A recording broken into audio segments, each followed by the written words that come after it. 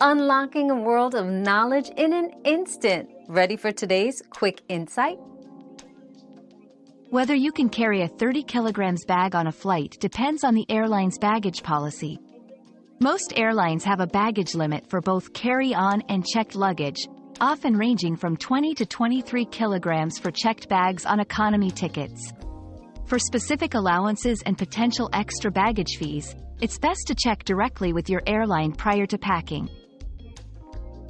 Your daily dose of discovery ends here, but the journey of learning never stops. Subscribe and join us again for more answers tomorrow.